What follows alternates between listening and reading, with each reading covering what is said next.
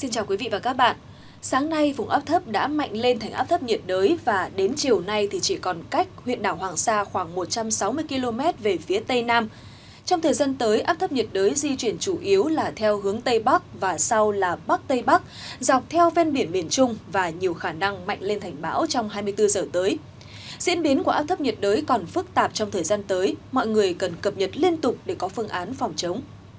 Do ảnh hưởng của áp thấp nhiệt đới, vùng biển phía tây nam của khu vực Bắc Biển Đông, bao gồm cả vùng biển huyện đảo Hoàng Sa, vùng biển từ Quảng Trị cho tới Quảng Ngãi gió mạnh cấp 6, cấp 7, sau tăng lên cấp 8, giật cấp 10, biển động. Còn trên đất liền thì áp thấp nhiệt đới do chuyển dọc ven biển miền Trung lên phía Bắc nên mưa vừa mưa to cũng sẽ dịch chuyển theo tập trung ở các tỉnh Bắc Trung Bộ.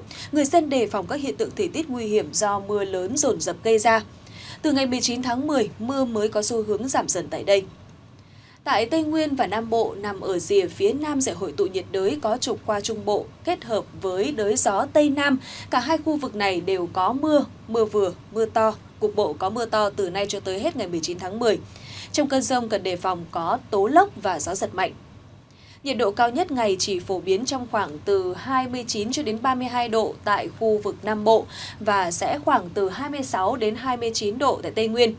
Từ ngày 20 tháng 10, khi mưa giảm cả về diện và lượng thì nhiệt độ có xu hướng tăng nhẹ trở lại. Trở lại với Bắc Bộ từ chiều tối và đêm mai với sự di chuyển lên phía Bắc của áp thấp nhiệt đới, khu vực ven biển phía Đông Bắc Bộ sẽ bắt đầu có mưa rào và rông, cục bộ có mưa vừa mưa to. Vùng mưa sẽ dần lan rộng sang khắp các tỉnh thành tại Bắc Bộ trong ngày 19 và 20 tháng 10.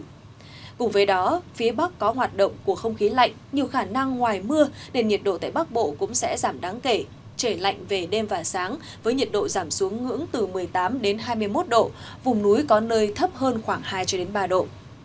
Đến đây, bản tin thời tiết cuối ngày 17 tháng 10 xin được khép lại. Xin kính chào tạm biệt và hẹn gặp lại.